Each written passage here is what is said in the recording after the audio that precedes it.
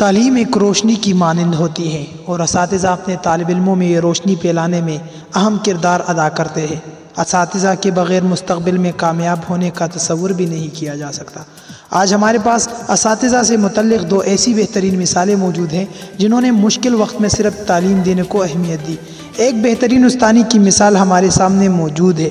گزشتہ سال ایران سے تعلق رکھنے والی محترمہ جعفری نامی خاتون جو شعبے کے اعتبار سے ٹیچر ہے، ان کی تصویر نے دیکھنے والوں کو اشکبار ہونے پر مجبور کر دیا۔ محترمہ جعفری جب بیمار تھی، تب انہوں نے ہمت نہ ہاری اور اپنے طالب علموں کو موبائل کے ذریعے آن لائن کلاسز دی۔ ان کی خدمات نے دیکھنے والوں کے دل جیت لیے۔ انٹرنیٹ پر وائرل ہونے والی تصویروں میں دیکھا گیا کہ استانی بستر مرض پر موجود موبائل تامے آن لائن تعلیم فراہم کر رہی ہیں۔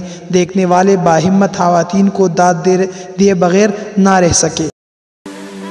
دوسری جانب ایران میں موجود ایک استاذ گاؤں کی ایک طالبہ کو پڑھانے کے لیے اپنی گاڑی کو وائٹ بورڈ کے طور پر استعمال کرتا ہے۔ وہ روزانہ اپنی طالبہ کو پڑھانے کی عادت سے گاڑی ڈرائیو کرتے ہوئے گاؤں پہنچ جاتا ہے۔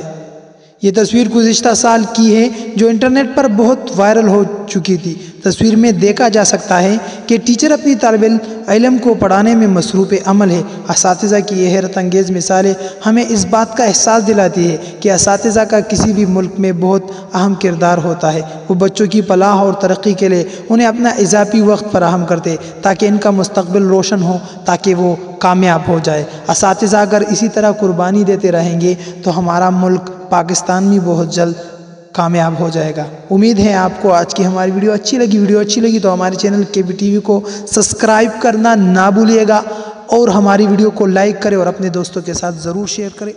وسلام